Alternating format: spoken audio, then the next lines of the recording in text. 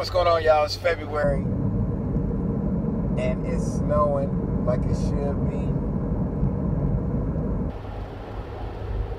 8 a.m. February 9th, Tuesday.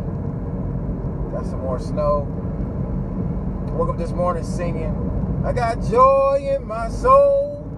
God is in control. I got Satan on my trail, but I'm singing all is well. He's attacking every day, but I'm watching while I pray. No matter the attack, I won't turn back. This means war. This means that song right there. I don't know. I woke up this morning with that on my mind and on my heart.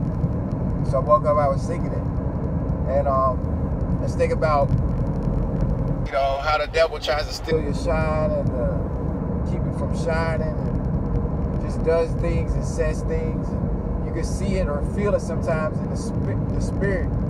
People's spirits are evil.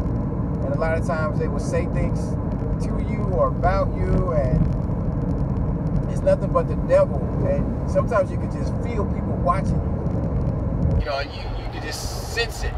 People walk the other way a lot of times. And, you know, it's like, oh, I can't, can't even walk next to that guy. You know, there's several reasons for people doing that thing, but when you know that your heart is right and you are doing the best that you can, and you don't wish any hurt, harm, or danger, or even try to dispel any of that on another person, the evil person, the evil spirit will flee from you.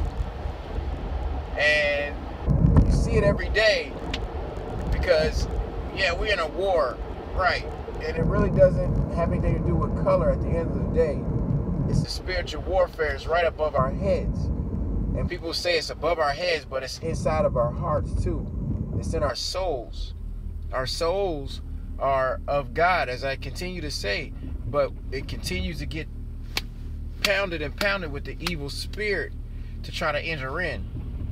But you got to stay focused and just keep believing in yourself. And anything that's negative, just remember, it's not of God. You can always do anything you put your mind to. See it, believe it.